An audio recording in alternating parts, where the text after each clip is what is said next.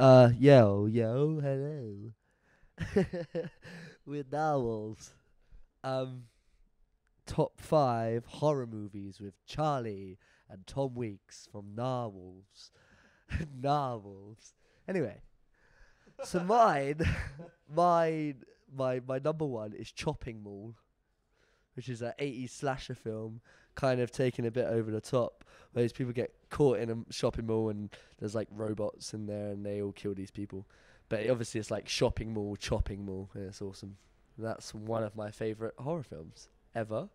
And then I would say Halloween is number one, really.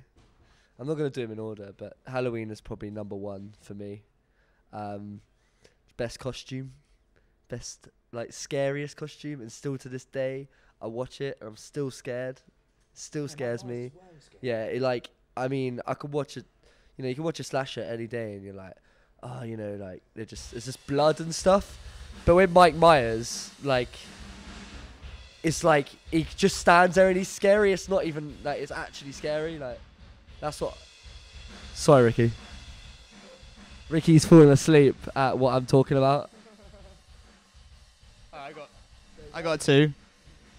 My top two favorite horror films are Brain Dead by Peter Jackson, because it was before he did Lord of the Rings, and he made this weird New Zealand slasher film.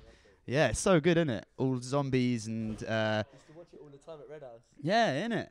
It's like, and there's that bit where he goes around with a head trimmer and he's just chopping everyone to bits for about 20 minutes. Yeah, it's a gross film.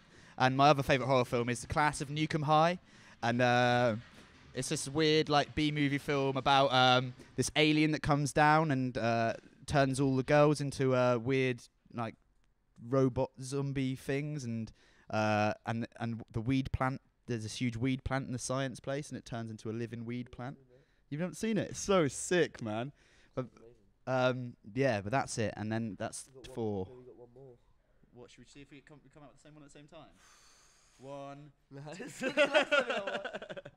wait, actually, I was gonna say Texas. All right, ready? One, two, three. Texas Chainsaw Massacre. the original.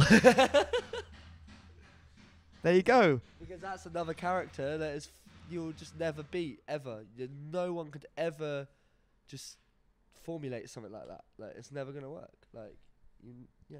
Best thing is, it's a true story. It's based on a true story. Yeah. It's based on a true story. Ju- just like that starting line album, yeah. That was okay.